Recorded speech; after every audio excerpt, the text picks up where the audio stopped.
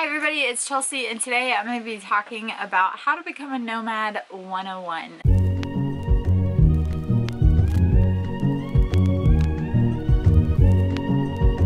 You are a person who has thought about becoming a nomad, joining the van life movement, or whatever it may be, but you just don't know where to start, keep watching. This video is for you. If you haven't already, please subscribe to my channel. I make weekly travel videos and nomad tips for you guys. Make sure when you hit the subscribe button, you also hit that little bell notification so that it tells you when my videos come out.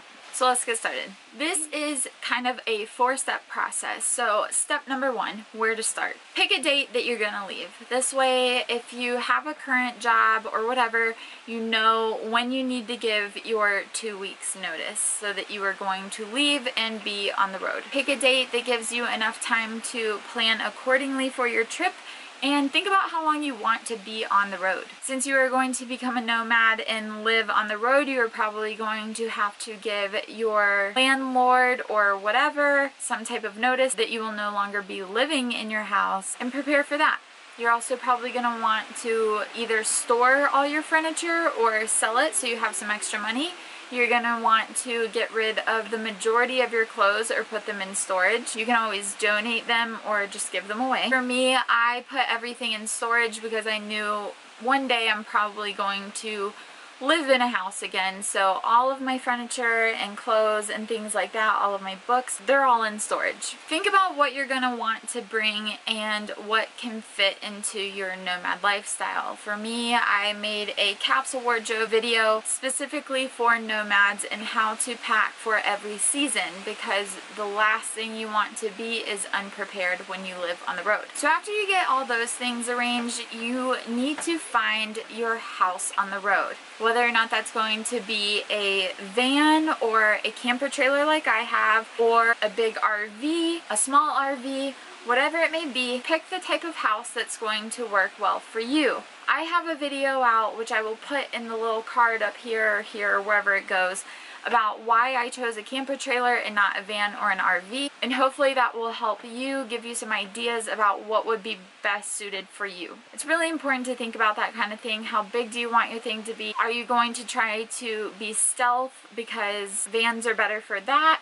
If you're doing this really long term, do you want more space? Are you going to have a travel buddy? These are things to consider when you are picking the type of mobile house that you are going to live in. Where to find your house. Before I got this camper trailer, I was looking up and down on the internet for used campers and vans and trailers, whatever it may be. Craigslist is a really good place to look. They usually have a ton of options on Craigslist some of them probably need a little bit of TLC before you move into it, but that's fine. When I got this camper, there were a couple things that I did to it beforehand, which we will get into in step two. In the third part of step one about where to start, how are you going to finance this trip? Are you going to work on the road? Are you going to rely on savings? How is this going to work for you? For me, it has been a combination of both of those things.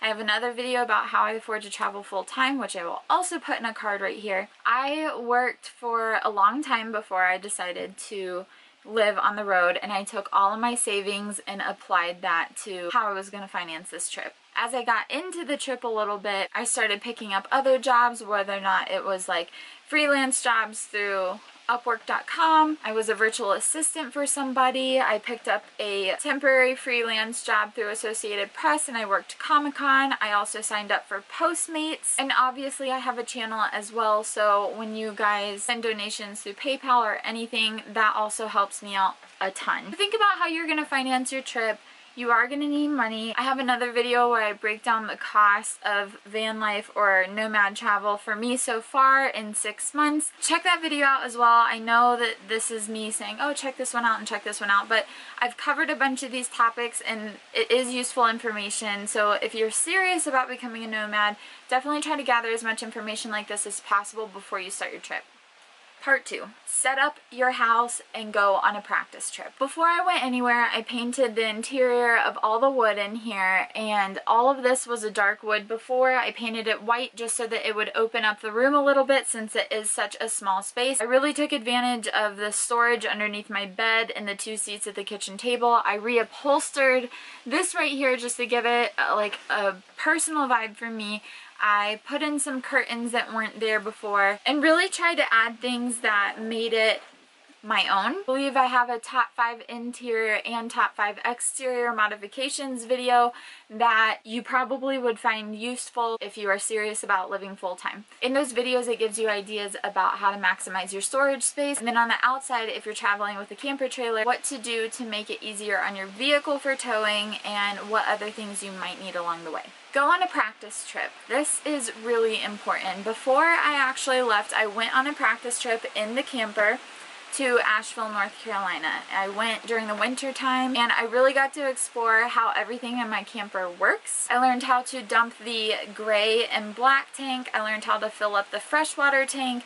I learned how the battery works, electricity, how to plug into things how to hook up my water line, how to check all the air pressure in the tires and make sure that those are consistent, the modifications I need to make right before I take off on a trip, what cabinets I need to make sure are locked shut so they don't open, how to switch the fridge from electricity to propane, the works. After you go on this practice trip, you can analyze whether or not you have everything you need do you have a little space heater? Do you have a generator that you can use when you do not have electricity hookups? Are you going to run off of solar power? Think about all these things before you go and make those modifications to your mobile house. Part 3. Prepare mentally. Obviously I think you're already on the right track with you watching this video in the first place because that is the first thing that I have listed under this part 3. Get educated. Educate yourself about the whole process, the good things and the bad things. Watch videos on YouTube about other nomads and their experiences,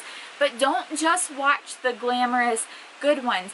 Really get down to the nitty gritty. Know what to expect when it's bad because when it's bad, it can be very bad. Like for example, right now I am stuck in the desert in Nevada. My air shocks have blown out this is the sixth day in a row that I have been working on them and I am trying my hardest to find a solution that isn't going to break my pocket. If I could just show you really fast what's going on outside my window that's my view. On my channel, I really do try to give a realistic representation of what you can expect.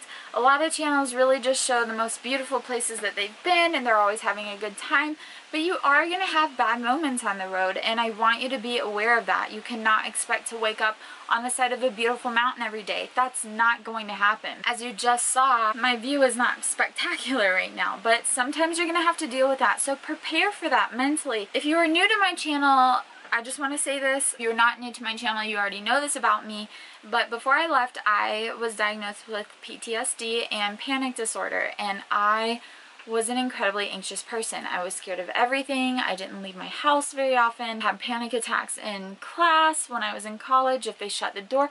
I was scared of a lot of things. So this trip has really pushed me to overcome those fears. And if you also experience fears like that, you need to understand what you're getting into realistically, don't be discouraged from it. This is Aiden. This, I'm staying at his dad's house right now because his dad is helping me work on the car that I was just talking about. And uh, yeah, so we've become friends and he just wanted to stop by really fast and say hello. You already know me from the last video. This video might come out before that, but either way, you're gonna see him again. Say bye. Bye. Do be aware that this experience will change your life for the better. It will make you a stronger person. Every trial that you go through and overcome, it really does a lot for the soul. So don't be scared to do this, but just really, really educate yourself so that you know what you're getting into. Look at photos, get excited, look at blogs that people write about, their experiences, watch videos of all the beautiful places that you're going to see, and really get stoked because the more excited you are, the more you will be willing to deal with the hard parts as well. So just educate yourself, get excited, be realistic, and that leads to step four, which is to leave. I will say this, everything before step four the leaving part is the hardest. Quitting your job is scary. Leaving your apartment is scary. Leaving your friends and everything that you know is horrifying. It is nerve wracking and it will eat you and it will get to you. But regardless, leaving is the easiest part. Preparation is what's hard and everything after that is a journey and I'm excited for you. If you've made it this far in the video, that means that you're really serious about it and I just, I cannot wait to see the progress that you make in life on your journey as a nomad. If you are becoming a nomad and you need me for anything or if you have any questions, please reach out to me. Join in on my live streams. I do them twice a week if I have service on, usually on Thursday nights and Sunday nights if I have good internet. I will do live streams and we've really formed a good community there. If you have any questions whatsoever, please, please, please comment below. I will reply to every single one. I appreciate you guys and I'm so ecstatic for you to start this part of your life. Keep me posted for sure. Follow my social media below because I usually post updates about when I'm going to post videos or where I am. So if you want to have a meetup or whatever, let me know. And I look forward to seeing you on the road. Thanks again and have a beautiful day.